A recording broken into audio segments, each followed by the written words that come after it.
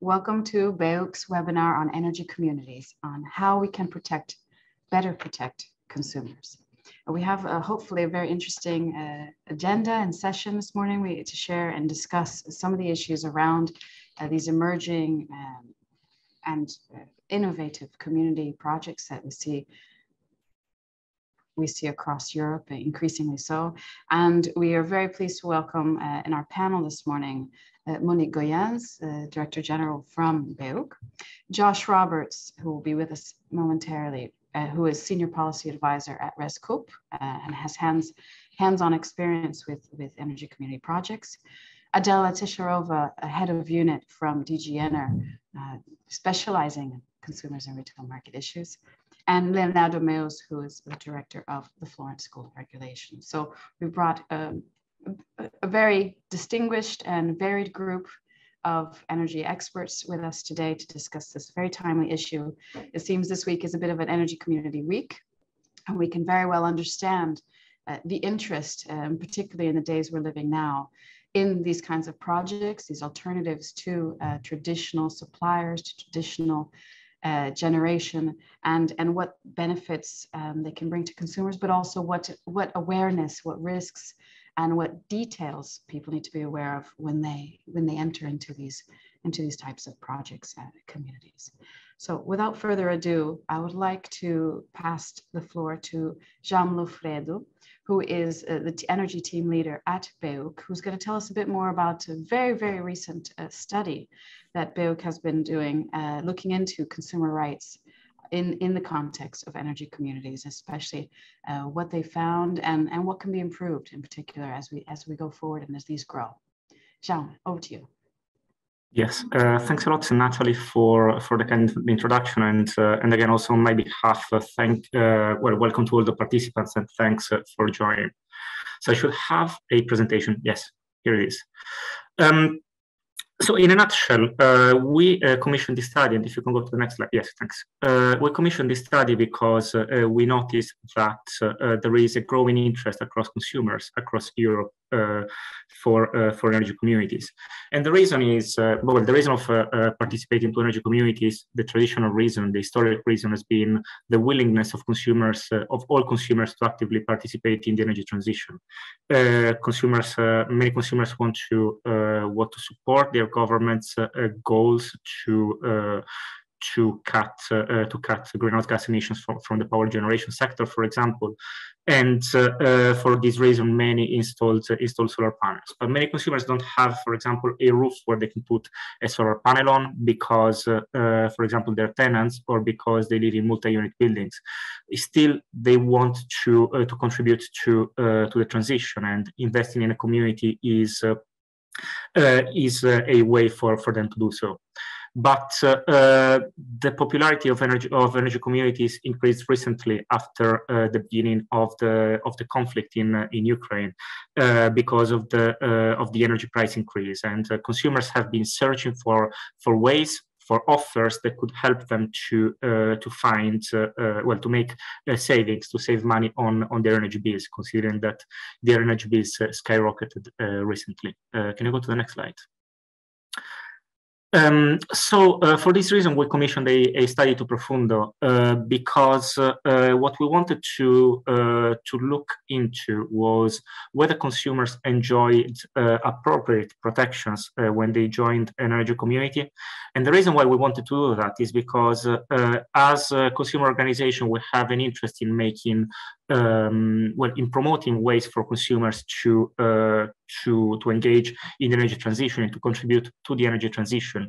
But at the same time, we uh, we also want to make sure that uh, those consumers who decide to contribute, they're also well protected. And this is important also also for the communities movement itself, because uh, the communities movement that has been growing recently if it wants to become mainstream, it needs to make sure that consumers can be uh, comfortable with uh, uh, in engaging with uh, uh, with energy communities. So again, it's important to to create a safe environment where where consumers can engage to have tens of millions of consumers joining the movement. So for this reason, we commissioned this study uh, where uh, we were looking into uh, some aspects that uh, in general are less uh, looked at. So all the issues related to consumer rights and to consumer protections and to consumer information. And if you go, go to the next slide.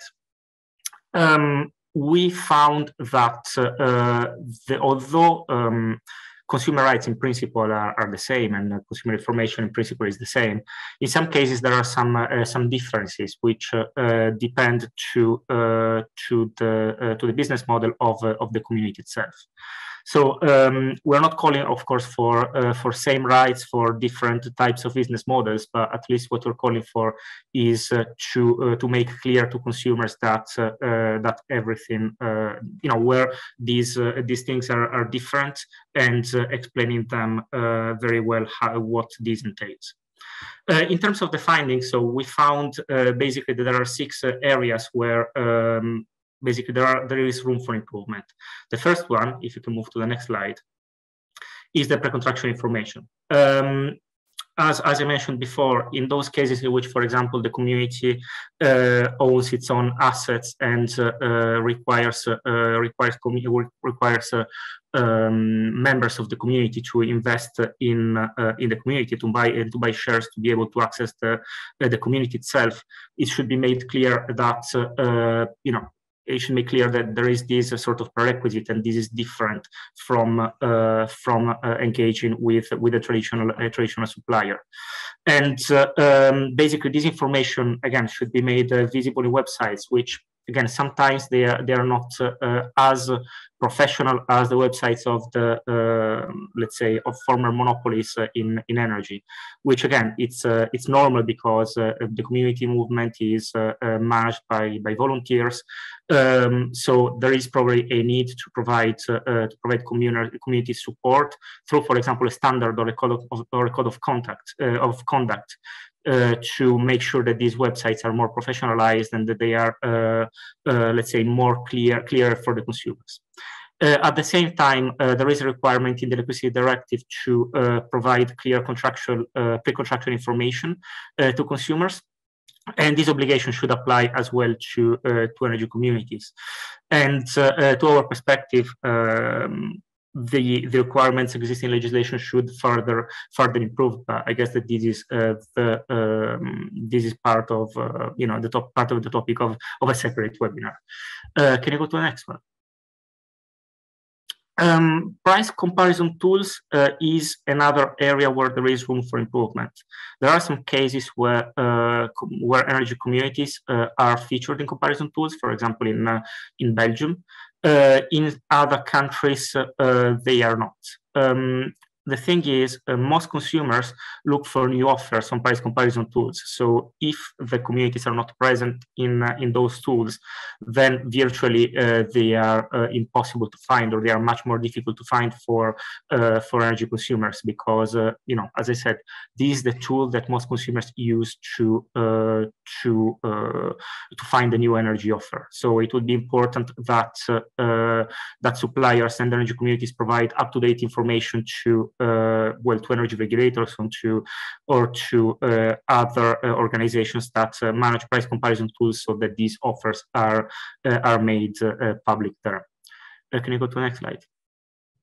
Uh, third point is about uh, complaints and alternative dispute uh, resolutions. Um, there is uh, there is a requirement in the electricity directive requiring suppliers to uh, sign up for uh, for alternative dispute uh, resolution schemes, so that when a controversy uh, arises, uh, consumers can try to find satisfaction outside of of traditional traditional courts. Um, in energy communities generally uh, what we found is that when there when there are disputes they are resolved uh, they are resolved internally. But what would be important again to uh, to provide better um, better option to uh, well, a better option to uh, to solve uh, to solve disputes is uh, to uh, allow consumers to uh, to um, to use an alternative dispute resolution scheme. So to basically, the community should be should be required to um, to have an uh, to sign up for an alternative dispute resolution scheme to provide this opportunity to uh, to consumers. If you can go to the next one. Um, the the fourth point and uh, it's uh, uh, it's one where uh, again like what uh, uh, the relationship with, between the, the consumer with the supplier and the relationship between the consumer with the the community deviates deviate the most. As i was mentioning before in many cases to be able to access to to be able to access to an energy community consumers need to purchase to purchase shares of of the community itself um, and these, uh, again, uh, it might be a deterrent for some consumers to uh, to engage, particularly if they are not uh, very well aware about uh, uh, what happens when they decide to leave the community. Basically, when we, they will get the, their money back, when they will be able to, to sell their shares. Again, this information should be made clearer in pre-contraction information and, and the websites to to make consumers more comfortable in in engaging. Uh, there is also a, an issue which is uh, a bit marginal but still uh, existing. in some cases, uh, uh, the community also uh, is operates distribution distribution networks, whether that is an electricity distribution network or whether that is that is a heat grid. And and here again, I mean, the um, the community has the same uh, obligation as, uh, as, as the DSO. So it's important that uh, consumers are, are reassured that um, that they will not lose access to energy, for example, if they cannot pay and they are a vulnerable consumer. So they, it should be important that to provide consumers that um, the uh, the reassurances that they, they also have rights, uh, that their traditional rights apply also if, if they join if they join the community. Uh, next one. Um, customer service is another area where there is room for improvement. And again, we're fully conscious that uh, uh communities are, are managed by, uh, by volunteers in, in many cases. Um, but uh, uh, what uh, we we noticed is that um, when consumers have a question, it often takes longer for, for a community to to answer, or much longer for a community to answer compared to a traditional supplier. Um, what uh, would be important is to sort of professionalize customer service and to make sure that, uh, again, consumers can have uh, access to, uh, well, to um, that the consumers' complaints or consumers' questions are, are responded uh, within a reasonable time frame. And the last point um, is about data privacy and GDPR compliance. Um, what we noticed is that in some cases, um, personal data from, consu from consumers example, date of birth, uh, address, uh, are stored on uh, some services or with some tools that are not necessarily in compliance with, with GDPR. And uh, here again, I mean, it's, it's just a matter of, uh, of identifying uh, of, of, identifying those those tools that are um, better, that protect, protect better consumer consumer privacy, and to prioritize those those tools. I mean, to summarize, all in all, um, we feel that uh, again there is a lot of potential uh, for for consumers to join energy communities, and we feel that uh, it is one of those tools that can help consumers to engage firsthand in energy consume in the energy in the energy transition, but also to uh, to make savings. Uh, at the same time, we also feel that uh, there is some some room for improvements when it comes to uh, certain areas of uh, uh, of uh, consumer rights and consumer protection and consumer information. Um, this is not to to sort of complain about bad behavior of energy communities. It's more like to provide recommendations so that the community movement can you know further flourish and that millions of, of consumers can uh, can uh, can join the community movement. And we feel that if those things are done, um, consumers will have a safer environment, and more and more consumers will want to uh, to join the community movement. And thanks a lot. And of course, if you have any questions, I'm here. Okay, thank you very much, Shaun. That's in, indeed very, very interesting, and I think very, very much to the point um, regarding the challenges um, of of these initiatives in terms of their, um, I guess, the balance that they have to find between the level of complexity and sophistication of the services and activities that they take on, and then uh, the, if you want, as you were saying, profit um, professionalization of, of the support and services that their that their members can can receive and expect. And and as we saw, uh, I think at the start in your slides, there are a number of benefits. You know, whether they be financial, social, environmental. Um, there's a range of benefits for for consumers at different times, not only in times of crisis, and especially with the energy transition, we can only expect such initiatives to, to grow and, and, and hope so as well. Um, but indeed, it does then raise uh, the kind of issues of how can you reconcile the, if you will, the volunteer and the community spirit, the roots of these energy communities with uh, the directives and uh, the expectations of consumer rights and quality of service, et cetera, and such an important essential service as, as energy. And, and this is very much what we will be discussing hopefully with our, with our panelists um, to get a sense as well from them because we know energy communities come in all shapes and sizes and there have been different experiences and and these consumer aspects are some of the most critical in terms of how to organize um, an energy community and ensure that uh, it's well it's fit for, for purpose and, and and delivering consumers uh, the energy and and the support that they expect. And and maybe part of the solution is in terms of institutional administrative support that we should all be giving uh, to these volunteers to help them navigate what is a very complex um, landscape of regulation, rules, etc. But uh, I'm just the moderator, so I will be passing the floor now to the actual panelists, and because we want to hear what they think uh, and what they found uh, interesting from this study. Maybe I will start with Adela, if you can maybe give us just a, a first sense of, of what you took away from, from the findings in this field work. Um, thank you very much. Um, I think I should stop blur my background. Good morning, everyone. I think this is a very, very timely study, a very timely topic.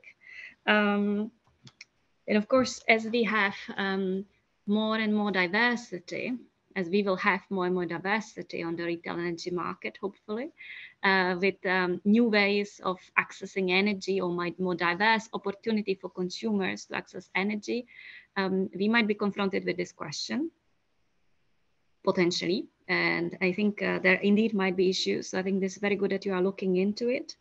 Um, uh, I would also like to say that, of course, if we discover that there is some potential loophole in energy legislation, there is we are not operating in a vacuum yet because there is always the general consumer framework which governs uh, you know investments rental contracts and these type of things so there is some sort of alternative arrangement between um, within the energy community which potentially could not fall under uh, the, the legal um, definition of supplier, for example, in the electricity directive, I think there is still there is still the general uh, framework for protection of, of consumers um, beyond uh, outside the energy sector.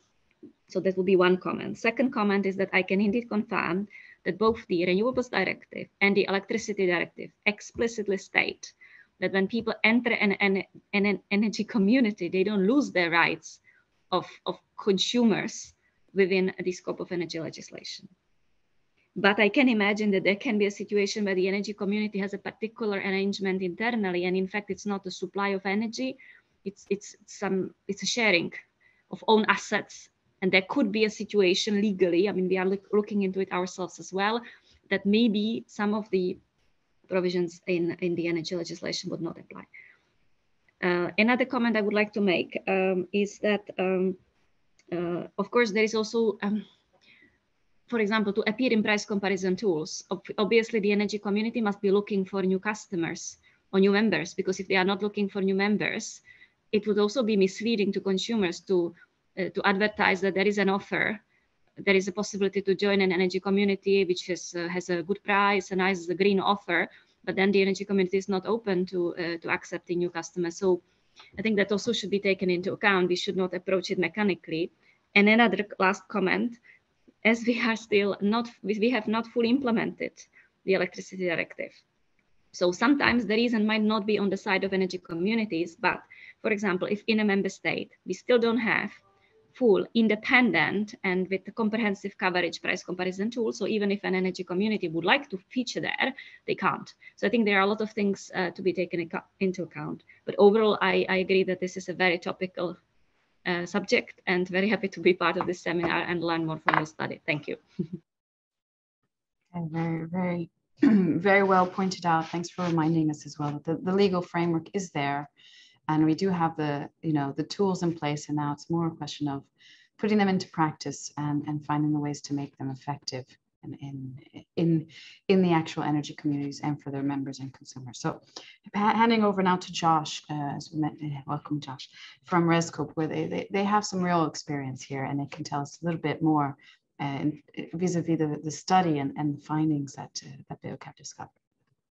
Yeah, thanks, Natalie. Um, yeah, I mean, uh, just uh, first off, I think it's really good that BEUC is focusing on this. Um, I mean, we we have, uh, you know, we were involved with some of their members, and we did collaborate a little bit on the clean energy package. But you know, for a long time, this wasn't necessarily a priority of theirs. So the fact that this study is uh, has been has been done, I think, is a good landmark in starting the conversation because what I have always said and what REScoop EU has always said is at least when it comes to like a supplier or a service provider relationship, the energy communities are really customer owned entities. So it's by the customer for the customer. So, um, and Jaume mentioned some of the key words uh, to make sure that this works, you know, making sure that consumers are comfortable, uh, that they're in a safe environment. I would be even more explicit in labeling this as trust consumers need to trust that uh, that they are getting into this and that it works for them because ultimately you know that's that's one of the reasons why they're doing it and it's how they can take power. So um, i mean we also participated in this study to provide an overview of the activities that where where we have seen the the potential um, linkages with consumer rights. That was always in the the framework of what we were asking for in the clean energy package. Granted that has caused some challenges so i'm also glad to see how we're looking at how some of these rights are applied because indeed it's i mean we have a good example ecopower. Obviously they're probably one of our more professionalized members but when they were first starting um, they just had set up the supply activities and i can't remember the exact number but dirk tells us that uh, they had like 10 people uh, all half of them were like volunteers and they had to onboard like 5000 customers in like one night because they just received an influx. So i mean we we we we like for us rights our our whole uh, like the whole reason we can participate is is is based in consumer rights at the moment. So we want to make sure that that goes both ways. Um, but of course we're talking about not like a traditional supplier consumer relationship. So we also have to understand on a more like personable level how these work. Um, obviously i think the rules need to be there in place to make sure that there's nobody uh, you know sort of being lax and and and not providing that that proper transparency or protection. Um, but at the same time i think it's it's a little bit more of a different process than you would traditionally think with like a, a traditional supplier. Um, so I, I, I kind of want to uh, I want to highlight that. One thing that I think is also important to look forward because this this meeting is about energy communities, but energy communities weren't the only concept in the in the clean energy package. You also have a lot of commercial initiatives that are probably not so interested in um, setting up energy communities, but they also want to bring consumers in. So I'm thinking more like um, collective self-consumption initiatives uh, that are run by more private operators. A lot of times the, the, the, the distinction between these types of initiatives and an energy community initiatives, which gives the consumer more voice as a member and an investor, that's not always very clear either. So I think just to contextualize this in the broader uh, theme of consumer empowerment, I think that's really important because, I mean, by and large, transparency that is in the the lifeblood and DNA of cooperatives, but it's not always clear what people are actually getting. So I think that's also we need to make sure that they're they're getting into it. I won't go into all the individual issues that were addressed in the report. I think we can leave that for the discussion. So that's my that's my general. I'm I'm really happy that you guys are doing this, and I look forward to the the conversation that we'll have not just today but in the future. Excellent. Thanks very much, Josh. Indeed, there's there's a lot of rich material and a lot of different aspects to consider. And, and indeed, as you said, uh, the different types of models that are out there, the scale and the, the structure behind uh, collective self-consumption energy communities and the various definitions, all of which ultimately have to guarantee consumer rights and make sure that it is, is delivering um, everybody's trust and, and their basic uh, fundamental rights in terms of access to energy. So I'll hand over now to Leonardo because in the FSR just yesterday, there was a debate uh, on, on energy communities, but perhaps from the other side, more about uh, what are the rules uh, and the barriers to putting together a community. Um, and today we're focusing on once you have a community, you know, how do you deliver on, it, on the, the rights of those members? So they, they're very much complementary, these two sides of, of the energy community, how to, how to create one and then how to keep one running uh, fairly uh, and in a trustworthy manner with, with its own members and, and beneficiaries. So, what can you tell us uh, in terms of the findings from today's work? Well, first, thanks for inviting me because I'm always a pleasure to read your reports, but this kind of events are a good deadline to finally catch up with some reading. Um, and I, I, guess there are two things to react in this report. First uh, is on the importance of communities. So I, I, very much agree with what John said. When this uh, framework was introduced in the clean energy package, I think it was very much about pub, you know, improving public acceptance, engaging consumers. I, I think at that time we had not expected that they would also become a major hedging tool right? So that's what we discovered in this energy crisis when short-term prices were skyrocketing. All of a sudden, these community members were realizing they had a really neat protection against high market prices by jointly investing in renewables, right? So that I think was a new discovery that it's not only about being part of a community, trying to push the transition forward, but that, that it can actually be a cheap way of of receiving uh, um, you know uh, energy in general. So that's very interesting. That's also why there is more interest now in these energy communities. But then i also agree with BEUC analysis that that sort of brings new responsibilities right? Um, this growth indeed can also attract new communities. Um, if the existing ones cannot grow fast enough new ones can enter. And then indeed it's good that we are already talking about um, these kind of potential issues that can create before they actually happen. Because I guess Josh was also relieved reading the report that it's not yet full of case studies of bad behavior. So we can talk about it before it actually happens, right? And prevent it. Uh, because I've been reading other BEUC reports and there it's full of case studies of bad behavior. Um, this report actually links to a report on suppliers from November. And I was really shocked reading all these case studies. Um, and I guess guess also for suppliers, it's very unfortunate because supplier market is full of good companies behaving well, but then, you know, it's it's enough to have a minority behaving very badly and it reflects on the whole community. Uh, and it also reminds me of a report of that BEUC did in 2019 uh, on uh, flexibility providers, these new innovative companies where I really thought, oh, these are all great companies. They bring a lot of innovation. And then I read the report and that looked at all these contract clauses full of red flags. and then I remember also very similar to what Just just said, that it's often not intentional right?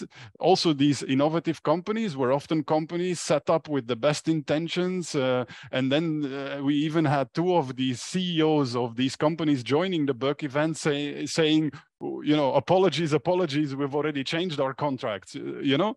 So it also shows, right, that this is not always, um, yeah, intentional bad behavior, but that these kind of new players need help, right? And I think um, this kind of BEUC report can really help um, before um, we get into negative. So I very much welcome this. Okay, thank you very much, Leonardo. Indeed, as, as you're saying, it's sometimes it's just a question of, you know, they're all volunteers and they do not have an army of lawyers uh, who are able to navigate, interpret, and, and have the exact right wording with the commas in the right place to know all the clauses that they're supposed to make sure they have to comply with and respect all the rules.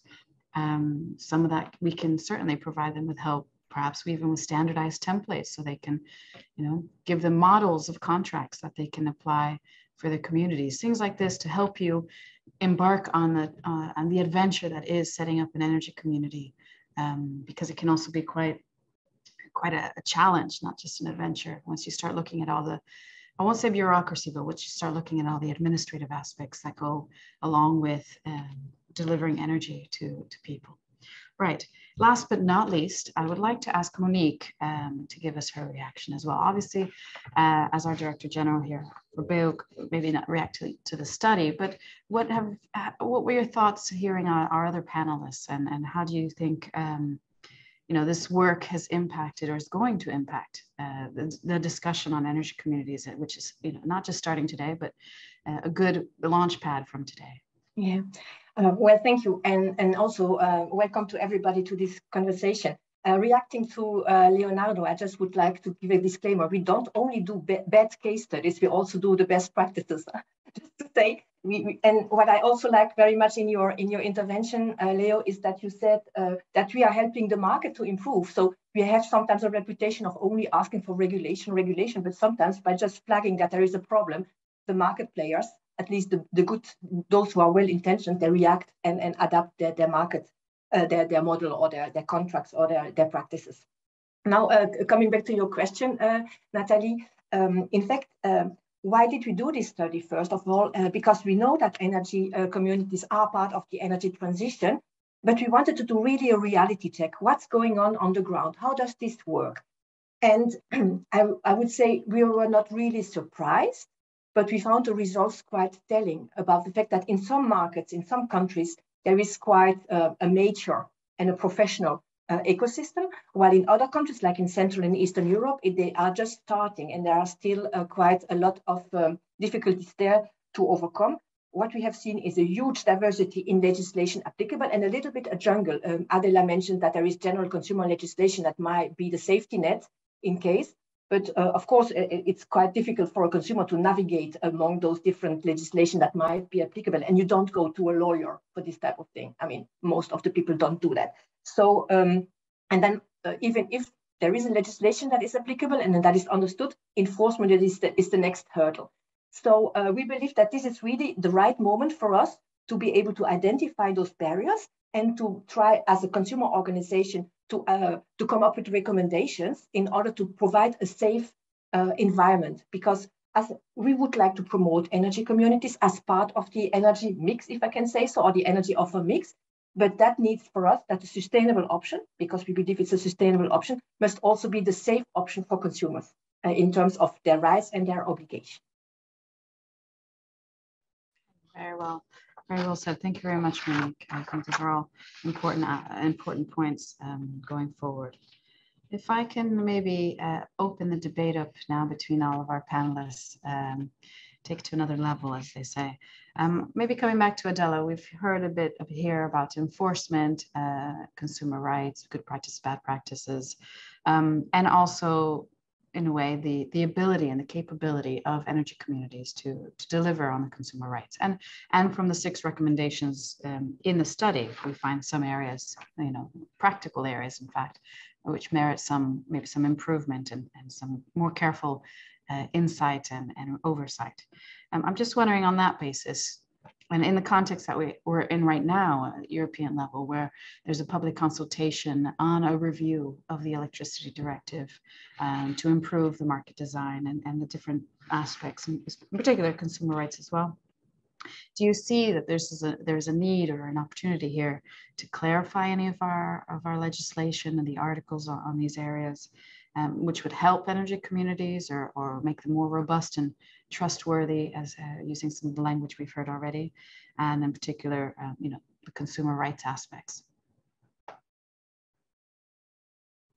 Um, well, thank you for this question. Um,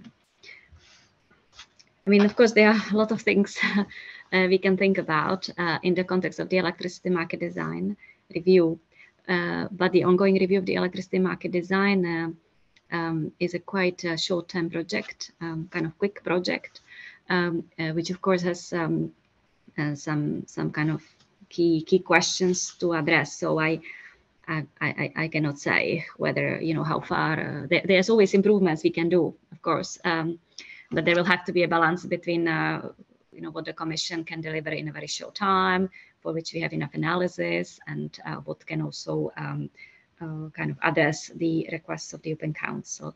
Um, however, that said, if you look in the consultation document, um, we certainly raise some questions around sharing of energy. And these questions, uh, of course, more broadly, sharing of energy more broadly as a wider concept, and energy communities is one of those uh, examples of how we can uh, share energy. Um, and of course, in that context, the issue of consumer rights does come up. That's clear. Yeah, and I think the more alternative um, ways of engaging consumers or the more variety of ways of engaging consumers we cover in our legislation, the more we probably have to think also about the consumer rights because it's not the idea to provide diversity to consumers and kind of leak them away from the legislative framework. Uh, uh, that that's clear. Um, so I think there are a lot of questions on the table for the electricity market design, and then we will see uh, how much uh, the college uh, can can take up in a very short time frame. But I think we have learned a lot with the energy crisis and also the kind of awakening of consumers to energy topics uh, it's certainly an opportunity to, yeah, we are learning a lot these days. And I think uh, uh, sooner or later we will have the possibility to, um, to maybe follow up on, on, on these things more legislatively. But I need to again repeat that we are not happy with the implementation of the electricity directive, and that's making a lot of things difficult, also for energy communities. Yeah, absolutely. Uh, the legal frameworks don't exist in member states. Yeah, in many member states. Yeah, can be slow getting off the ground. The rules are in place, but uh, getting them going in practice is a different story and uh, different experiences in different member states for sure have a major impact uh, on the ground, as you say. So that's very, very interesting. And of course, uh, we have uh, certainly not directly uh, related to energy communities, but we see um, in the ongoing discussions on the revision of the gas directive we actually see quite some improvements being suggested for some of the basic consumer rights um, in terms of the information and in, in, the contracts and things like this that, that could be provided to consumers. Um, and our energy community members are also consumers. So in some ways, some of those refinements that we see in the gas directive, which more about consumer rights than they are about gas, uh, might also be relevant for, you know, for our discussion here and further down the line in terms of the practical um, trust and information tools that uh, consumers can can rely on. So just going back to to the issues in the in the actual study, uh, Josh, um, the study mentions the issue about websites, transparency, information that uh, communities share uh, with new members or, or current members. Um, do you have any kind of good practice now, uh, good practice examples uh, on, this area that might be relevant as well? Yeah, I do. Uh, maybe I can mention just one example because uh, you guys already mentioned earlier that some, you know, I'm, really mainly focusing on suppliers. I can touch on production too, because that's probably a larger part of our activities. But when it comes to supply, we talked about some cooperatives not being able to offer new membership. Um, that is for very specific regions. Mainly, it's because of the uh, the business model that that that uh, energy cooperatives employ, which is basically to uh, meet the consumption of its members. So if it doesn't have enough production to meet the consumption, it's just buying from the wholesale market and it's not providing any added value. So one of the things I was actually looking at before this, EcoPower uh, in Flanders, um, they actually had to stop accepting members because of the energy crisis. Um, and I just checked their website. They they still say this. It's it, when you click there, you see it automatically, but you also see that this should uh, change in summer of 2023 because they have a new wind turbine coming on. Um, I also looked at my own cooperative supplier, uh, Cociter, which is in Wallonia, there's a big red box in there that says, sorry, we're not uh, accepting new customers. Unfortunately, they don't say when they will be able to. So, I mean, that's not their fault clearly, but um, so I think, I think those are good ways that people can just provide information up front. Um, I mean, I think, I think generally speaking, it's probably too broad to make a general statement, but I think those are some good we can look at the more professionalized members and probably take some good examples from them. That's usually how energy cooperatives operate generally. where you have the more advanced ones and the the younger ones are coming in and they're learning from them that's that is a very strong part of how we operate and our members operate um, so and i mean on the more active side though there are some really good examples uh, i can mention ecopower again but uh, Enercoop and some of our uh, and um, Som Energia in spain they have these sort of like energy cafes or uh, in Enercoop it's called le village and it's basically a platform where members can come um, one of the one of the operating principles of cooperatives is education and training of the members so that they can take part in the activities of the cooperative, but also impact their communities more uh, and take more uh, responsibility for themselves.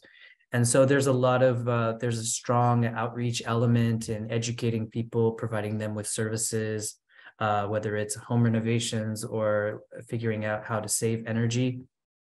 Um, and some of those are more like workshop based. So they're actually going into the communities, but then there's usually an online platform where people can come and talk about issues. They can raise issues with, internally within the cooperative um, or just learn about certain things. I think these have been very valuable in the energy crisis where people have been exchanging information with each other about what they can do uh, to make their situation better. So uh, I think I think these are some um, yeah these are some really good uh, examples, but uh, yeah um it's uh that's that's kind of i think that's kind of where we're at at the at the moment.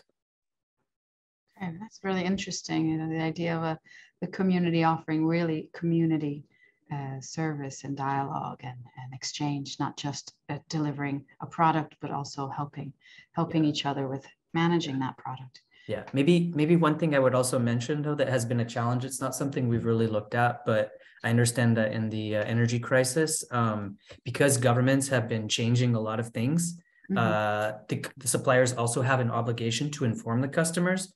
That's not necessarily a problem, but with uh, just with the way they operate, it, it is more of a challenge. So that's also something I think we need to to consider is that they want to be transparent as possible, but also in this environment, they might need a little bit of assistance because it's uh, they're also losing members because uh, some of them have to raise their prices. And I, I, I heard from our member in Spain that uh, a lot of the utilities there are still like sort of they're technically unbundled but not really effectively. And so they've been able to trade uh, PPAs with each other internally and then they can uh, they can they can artificially lower their prices so in in one sense the communities are unable to react so uh, we have to be really careful about how we are addressing the energy crisis and how that impacts their continued ability to provide uh, uh, proper services to their members um, because mm-hmm. this is already a challenge for them.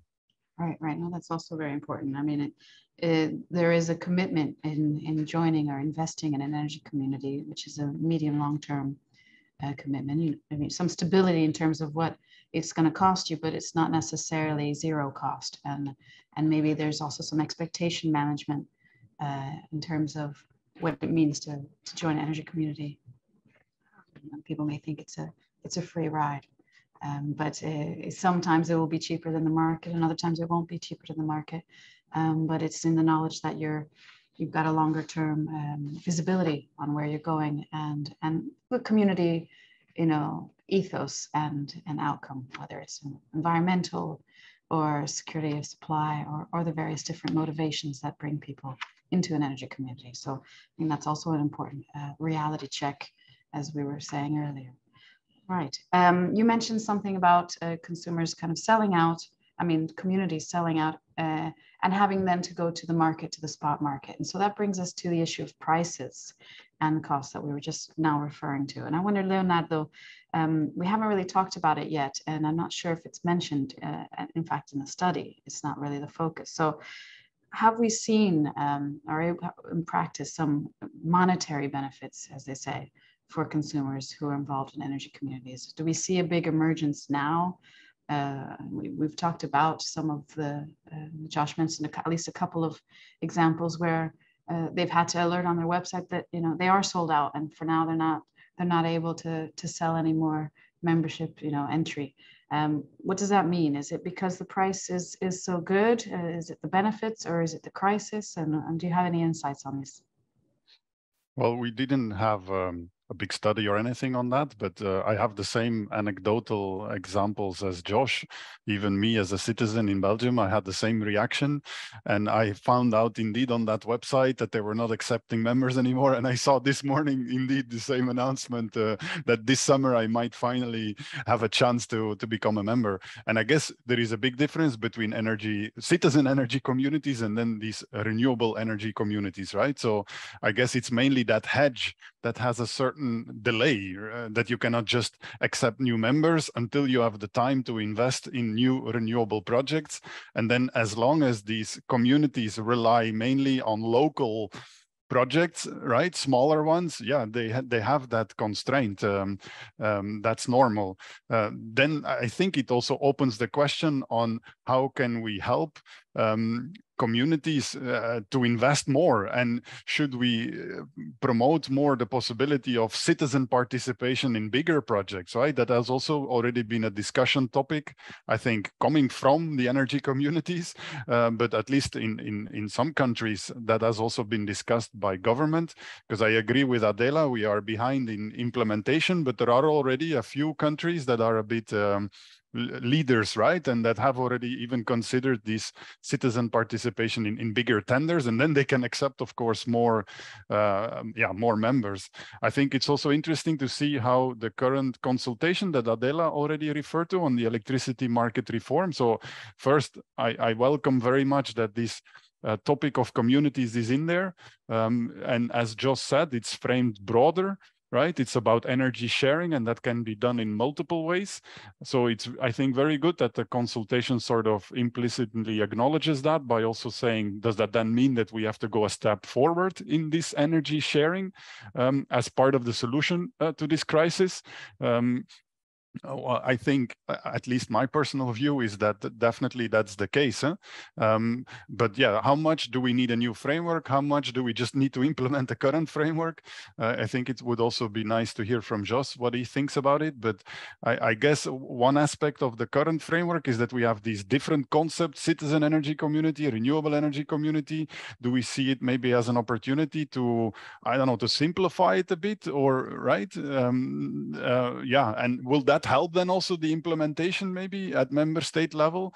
Um, I think that should be part of the conversation. And also part of the conversation should be how we link whatever we will do there with what we might do on other topics like these long-term contracts, right? PPA, if, if there is going to be a new framework to encourage either private players to do this kind of contracts or having more government involved, how does that then connect to this innovation? Because you would not want that governments would step in to protect consumers while not ignoring you know and and by doing that maybe ignoring what communities could do for instance or other innovative players could do. So how can that be a win-win between these two rather than a conflict? I think that's also really important um, going forward. And i hope that will also be in in the consultation and what happens next uh, with the proposals uh.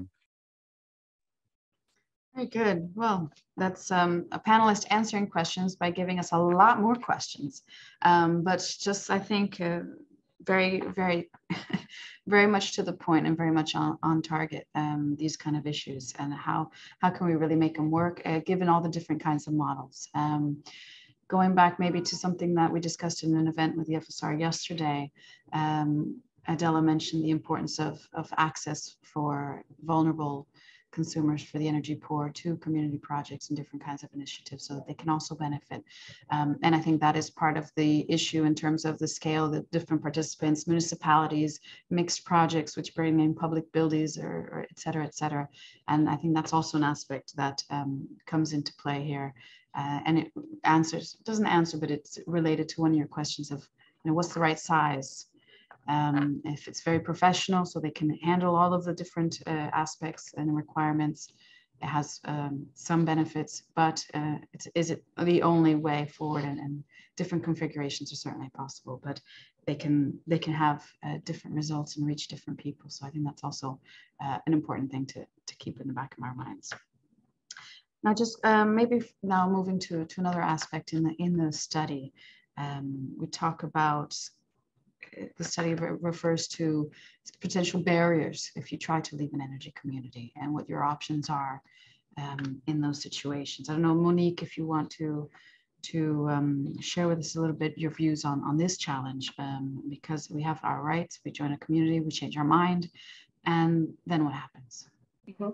I think that the most uh, specific barrier uh, that I really would like to highlight, and it's a little bit already a question, uh, an answer to the first question that was put in the Q&A, it's the business model. In fact, uh, um, the business model of energy communities is mostly based on the fact that you are not just a, a customer, a client, you are an investor and you pay a share uh, or you, you buy a share. Uh, and that's okay. So the business model is not the problem. What is the problem is that the consumer is not necessarily aware of that, aware of the potential. I mean, he has a different relationship with the community than if he would only be a client. And that might then, of course, um, uh, hinder the, uh, the mobility of the consumer. He will not be, they will not be able to switch easily uh, uh suppliers, uh, which is normal because in an energy community, we are not talking about having a share in Google or in Microsoft. They have millions of or billions of shares. Here it's more small, small scale project. So if somebody takes away their initial investment, it can also uh, hinder the, let's say, the, the, the sustainability of the investments of the community. So we believe it's fair that the business model um, asks for initial investments and protects those investments against taking them back too quickly. But the consumers need to meet, be made aware of it. And this is really, I think uh, Adela also mentioned it, it's really important to, well, I don't like the word educate, but just to explain very clearly what's the difference between an energy community and just taking out a contract with a traditional uh, supplier. Uh, and, and this is very important because then uh, there are plenty of people who are not afraid of not switching, uh, if, if that's okay. Uh, um, but just they need to know so that you, first of all, you prevent frustrations. Uh, you also provide consumers with reassurance that they know uh, where they put their foot in, uh, and you prevent disputes at the end of the day. So I believe that if you can address uh, the transparency of the business model and um, have it maybe maybe uh, to provide assistance to the smaller communities to have a template. It can be done in a template way. Uh, the explanation can be really um, a totally standard. Uh, it would be really a, a, um, a, crucial help for the take up by consumers of, the, uh, of this model. Yeah, I think that's critical. I just going, um, I was visualizing the websites that Josh was telling us with the big alerts telling you what are the conditions, you know, when you sign up here, what is it actually signing up for? Um, and uh, certainly that transparency and the knowing the rules of the game and really what your commitment is and, and what the rules are if you if, if and when you decide you want to try something else. Mm-hmm. I think that needs to be upfront and large print um, in your contract uh, and, and, explaining to consumers uh, exactly what it is that they're signing up for. So I don't know, Josh, if you want to, to react to that briefly since Monique yeah, no, I mean, uh, as a consumer myself, uh, I always get pissed off when I miss certain things and it prevents me from doing what I want. So I, I, I can't express anything but 100% uh, agreement with Monique. I don't think it's, but I don't think that's the question. I think it's the question of how we actually achieve that. So, I mean, I think that's that's where the interesting part of the conversation starts, and I think that's again that's where the report stops starts i think uh, it's probably a mix of like a conversation with energy communities uh, and, and even BEUC. And I would even urge Natalie, uh, the regulators also need to be a part of this. Um, I know some member states have already within sort of the one-stop shops that they have, they provide, sometimes they provide template contracts uh, that communities can use, not just to uh, enter into agreements with their own members, but also with other uh, actors in the energy system, like the DSO. Um, one note on that, and I would be remiss if I didn't mention it, is that uh, we it's already been mentioned that a lot of, of the legislation hasn't been very well transposed or that the details are lacking. One big fear that I have is that the regulators have been given most of the details. I, I use Romania as a good example where they basically copied and pasted the EU legislation, but all the details are supposed to be filled in by the regulator. So I worry that that is something that uh, they will also have a challenge with. So it's something that we really need uh, to take seriously. Um, but yeah, I, I mean, I, I, can't argue with the essence of what Monica said. I, I fully agree. No, absolutely. Um, regulation and in particular the contractual uh, relationships uh, between, you know, the business to business, if you will, the, the system relationships and the consumer relationships. They're, they're critical.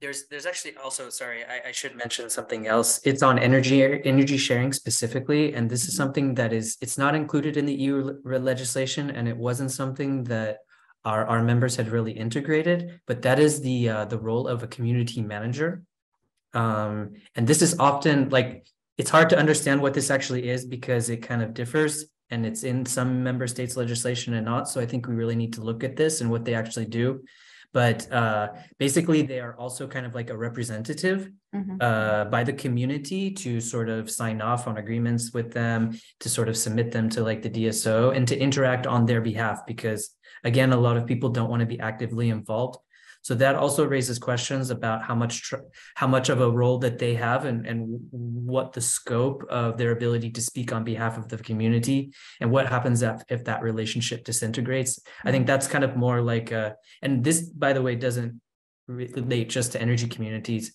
If we are going to have other uh, enterprises that are enabling energy sharing and they're using this, it's something that we really need to pay close attention to because it can ease the burden of mm-hmm. of uh, citizens trying to participate, but it could also create some problems. So. Yeah. Oh, indeed. I think um, now wearing my Portuguese hat, uh, we do have the figure of a representative in our legislation for energy communities. So they do have specific tasks uh, to take on on behalf of the of their communities to make sure that they navigate all of these different arrangements that have to be put in place uh, when you're running either as a supplier or as a producer all the different uh, the back office that really is necessary for, for all of these things to work um, in practice. So maybe just jumping back uh, still thinking about the energy poverty and the energy poor and and their potential involvement i wanted to maybe pick on adela since uh, this is something i know that the european commission is, is very concerned about. If if you going beyond what's in the study that we're looking at today, if you have, um, do you see any barriers or, or, or even any recommendations uh, and how we can really ensure that these type of community projects can be accessible to, to different, uh, I say, I was going to say communities, but to the energy poor, to the vulnerable, and if there's um, any practices or best practices, even we can say that, uh, that you've come across uh, in, in the work that you've been doing recently. Well, thank you. Um, well, I must say we we don't have um, uh, much analysis uh, at this stage. I know REScoop is looking into this question actually, so uh, they might have uh, some concrete findings. But on our, uh, we are certainly interested in this topic uh, because we think that the concept of energy community is kind of very well suited to involve people of different income levels because there has these environmental, social objectives, non-profit aspects. So it, it is a very nice concept that brings people together and hence can bring people of different incomes uh, together. So it's something we would like to very much encourage. Um, from what I have seen, uh, also more kind of anecdotal examples, uh, very often a municipality is a good uh, interlocutor to bring uh, uh, these people together because they can maybe help them with the entrance fee or they can, you know, um, make it yeah uh, basically they can support people who would not be able to afford the entrance fee otherwise um, we had a very nice presentation by um, by a mayor from from a flemish town Eeklo i think and they they have this uh, wind farm and they they make it at the disposal of everyone in the town and uh, and of low income people in particular. So I think there are very nice uh, best practices there or good practices there. And I think we certainly we in DG we're very, very keen to learn more about it and maybe help to disseminate these good practices. But certainly it's an area with a lot of potential. Yeah, very good. That's really interesting. And maybe the next study will be looking into more examples of how these things can be made accessible uh, across, um, you know, our, our society. So finding different ways and different um, tools, um, whether so they don't have to necessarily pay an investment fee themselves, which can be the first barrier uh, obviously, in certain circumstances. So um, we have about 15 minutes left. Um, and I thought if, if you all agree, we have a couple of questions in the chat. We could jump directly, make sure we have time to, to discuss as well some of the very interesting questions we've had um, from some of our participants. I think um, we have here a first question, which uh, Adela, uh, I think you you already mentioned briefly, but um, yes, indeed, today's event is mostly about the, the rights of the members. And there's an interesting question here about switching energy communities. And that is something that is addressed uh, in the study. I don't know if, if uh, uh, wants to comment directly or if, if through Josh, if, or any of you, you have any experience on the situ switching and, and knowing your rights if, if you do want to aside from the, the responsibility, the contractual arrangements of the investment and, and the business model, um, is it possible and how, how is that being, if you will, um, respected in practice?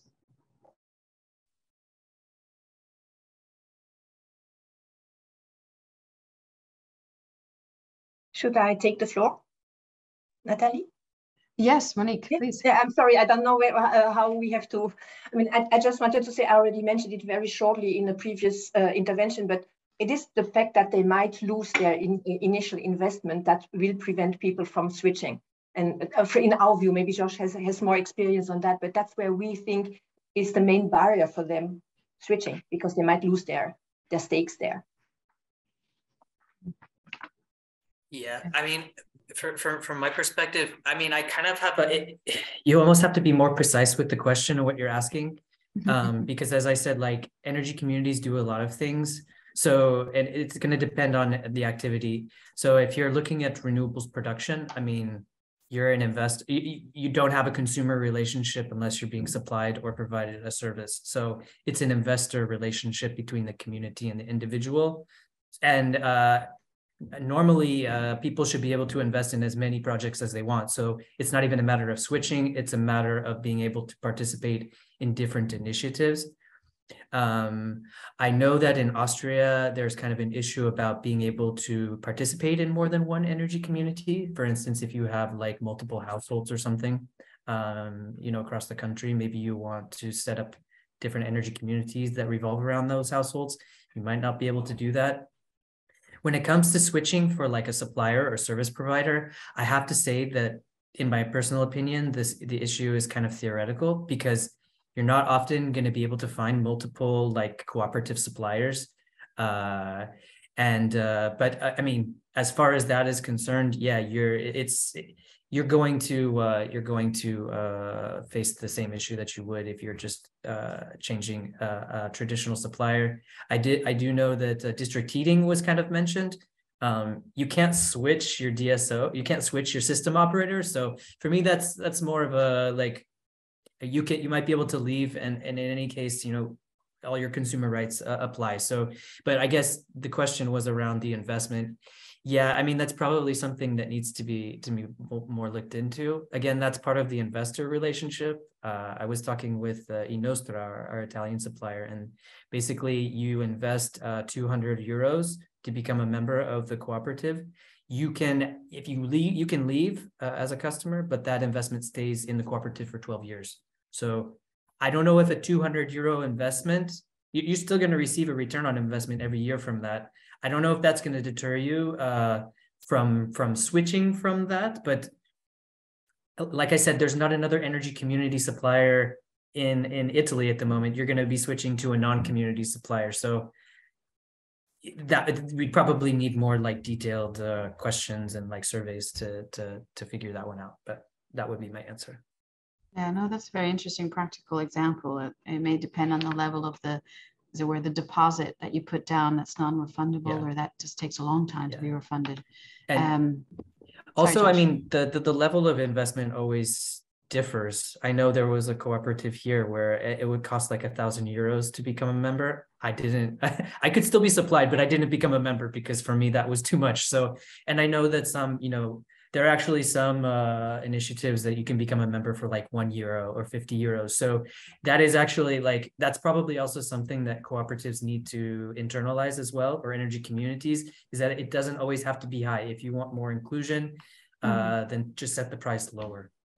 Yeah, maybe there's that perception uh, that needs to be tackled. So it's uh, again a question of communication, transparency, information, and and helping people realize it's it's not necessarily I'm going to have to pay for a bunch of solar panels. It's too expensive for me. I can't even get in. Uh, so that's really quite useful. Um, uh, you know, and, and, many of us may have been under under those misapprehensions uh, and still would be out, out there. Um, we have another interesting question, um, a parallel with the construction center, um, where there's some kind of concern that this the use of cooperatives or communities is a way to get around rules and obligations. I think today's discussion is very much showing that that's not the intention um, in the energy framework. But there's a question here about ADR. What could the role of an ADR be? I'm not sure I quite understand. Um, but can the ADR investigate if rules are being uh, interpreted elastically? I think maybe is the question. And what can the role of the ADR be?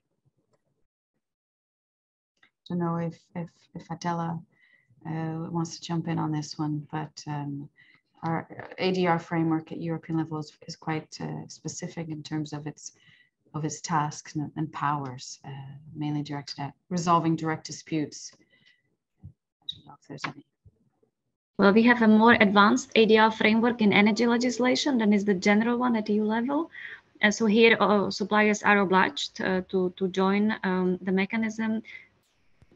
Then to the extent energy community, I guess, is a supplier, then uh, they would, uh, um, yeah, they would be required to join.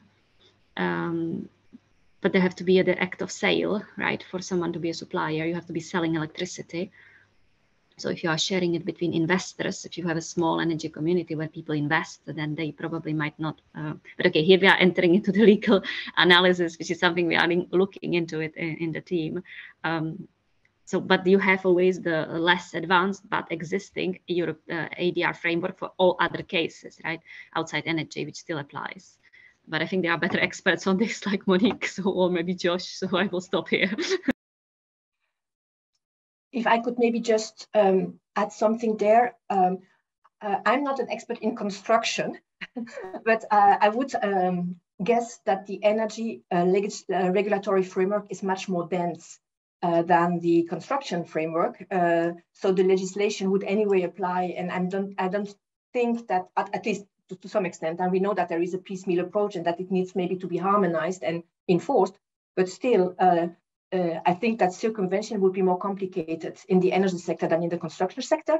And of course, ADR, uh, if the provider or the community or the managers of the community uh, need to participate to the ADR system, then I think the ADR uh, can investigate this type of has the power uh, to investigate this type of things because it is being done in a in a non-judicial way. So it's it's about discussing between the parties. So I would be quite uh, positive about uh, the fact that this can be prevented uh, as a as a, a, similar situation as the one that Laura uh, described in her question. Yeah. And uh, just a, an anecdote on the Portuguese level, we are not a full ADR at the regulator, but we are a dispute resolution um, body.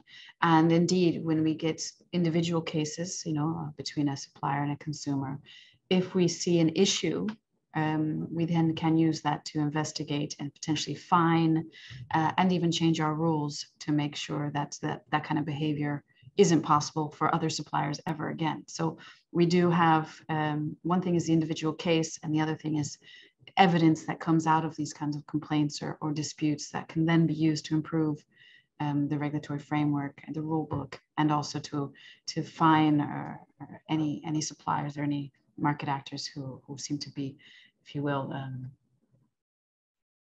following bad practices and, and, and misleading behavior. So I think that's important, and not just for energy communities, for, for all of the energy sector. Uh, Josh, you wanted to jump in? Sure. Yeah. On, on the ADR issue, all I would say is I, I would probably just add a word of caution. I don't think we have enough experience on this to really fully understand what is needed.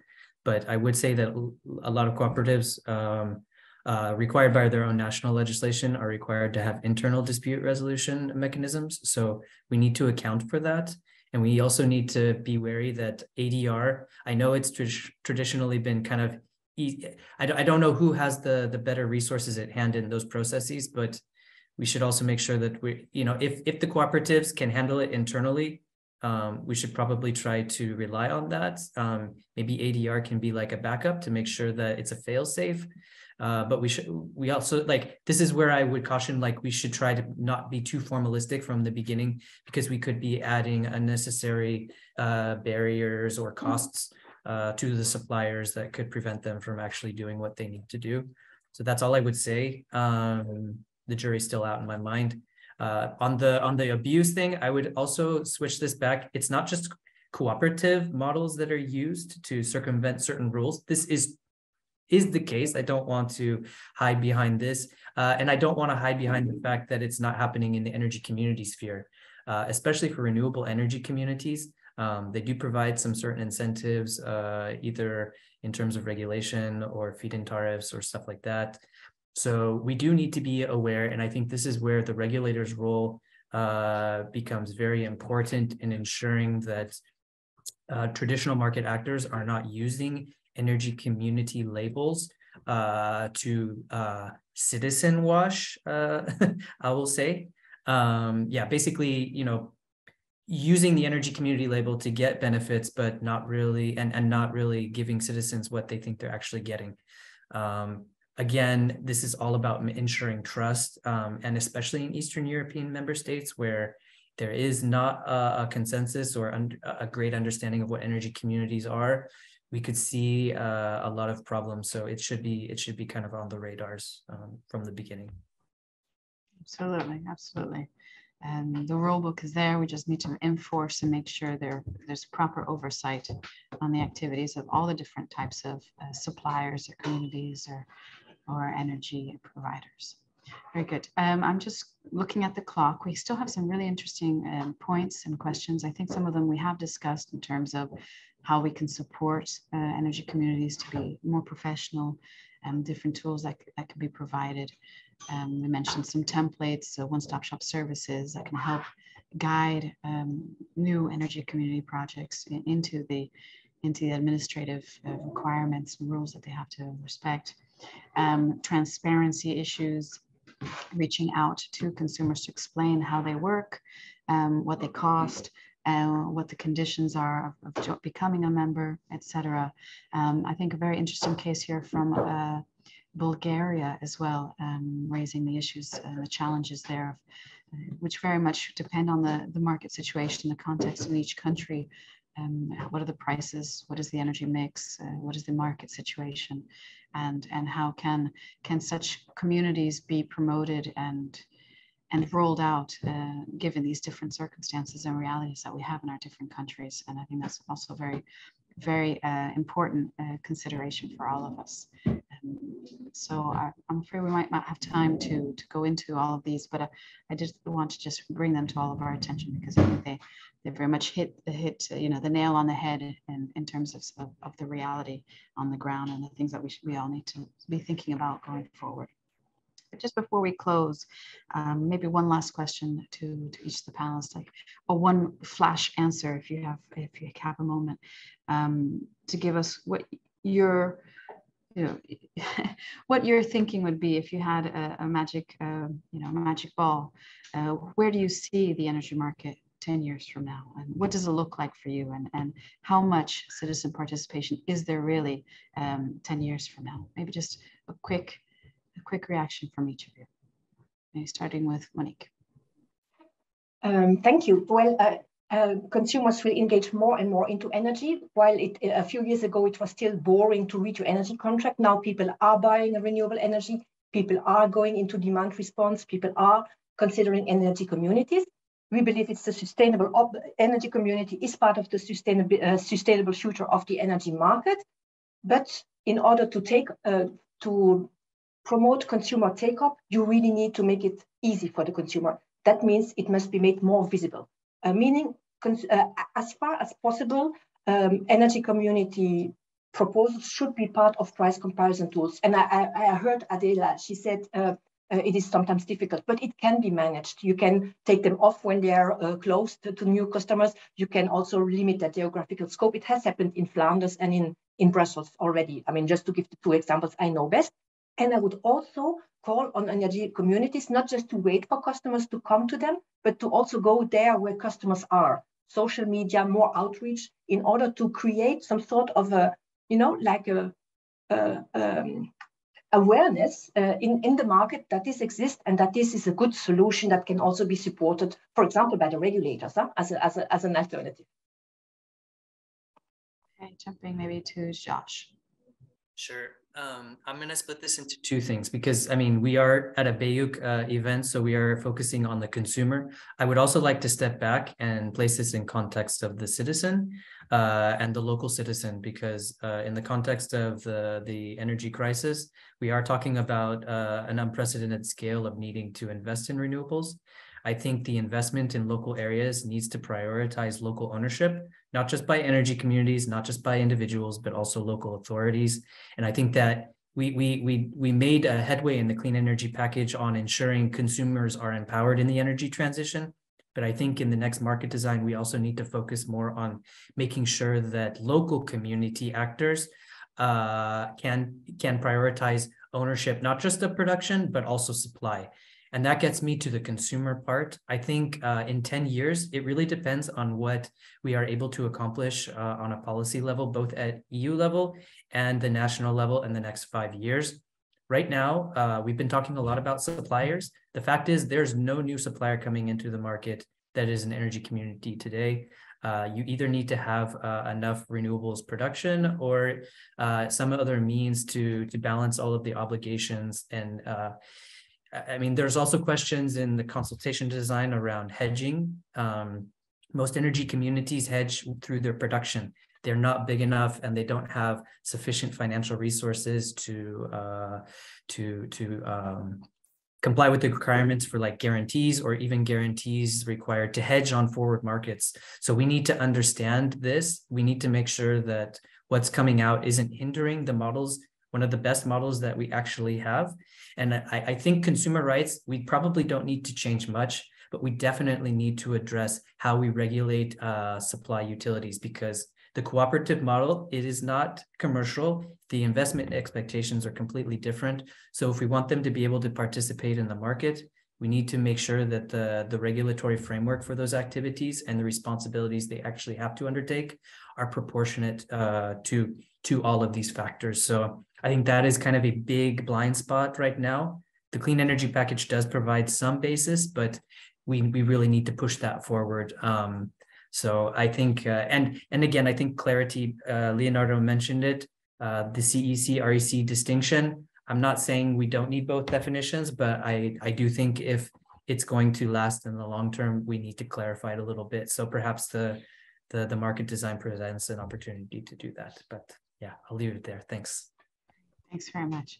Okay, Leonardo, just a quick flash uh, view of the future. Yes. So I, I think uh, if you look back, it's amazing where we are today because I started in this sector 20 years ago in an engineering department where we talked about the demand side as load. We already thought it was quite you know, a, a, progress to talk about consumers. Then I joined the business school where they said they're not consumers, they're customers. And then I met Jos and he said they're not customers, they're citizens, and we need to engage them. so that's a big change right? So if i then look forward i i do think um, you know i think energy communities and everything we're doing there is is a part of a new wave of innovation.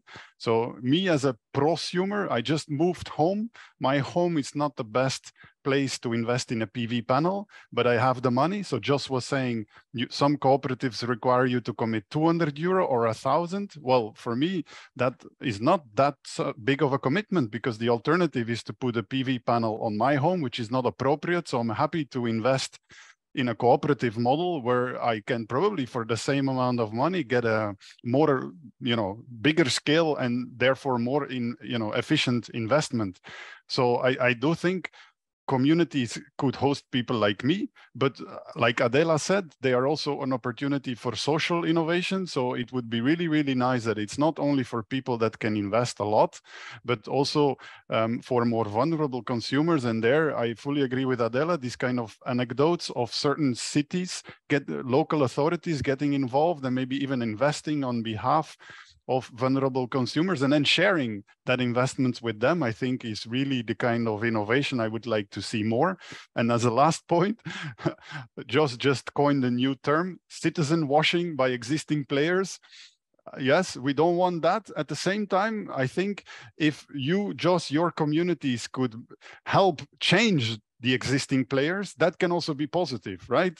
They should not i don't know do things they're claiming they're not do but if there is genuine change on the existing players um, which has happened before right? Uh, retailers started to become more involved in flexibility thanks to independent aggregators pushing them right a bit to do this. So i think it's not necessarily bad that some of the existing players adopt some of your good practices um, as long as it's not citizen wa uh, washing then it's okay i would say.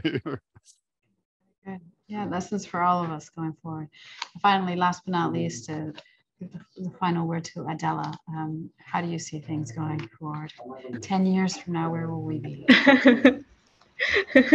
well, so I think I would just, um, I would also say um, much more consumer empowerment, much more, many more active uh, consumers, uh, many more diversity of engaging with energy, uh, much more innovation, as Leonardo said, much more like different types of services offered to consumers, um, not just supply of energy, but all sorts of services. So that would be my prediction. Thank you very much. And, and thanks short, for this very interesting Short, seminar. sweet, and very optimistic. That's fabulous. Thank you, Adela. And that's what we need. Uh, just to thank everybody on the panel, everybody who stayed with us. Um, we went a little bit over time, but it's been very, for me, a very interesting discussion. I hope you also enjoyed and, and took away some real examples, some practical um, cases and some alerts and how things are, are happening and how things could be happening. So thank you very much to, to everybody. And we continue the discussions. Uh, energy communities are, are here to stay, I'm sure, and there's many more experiences and, and lessons we can draw from them um, after this, this boom, this initial boom, if you will, and going forward. Thanks very much and wish everybody a very good day and read the study if you haven't already.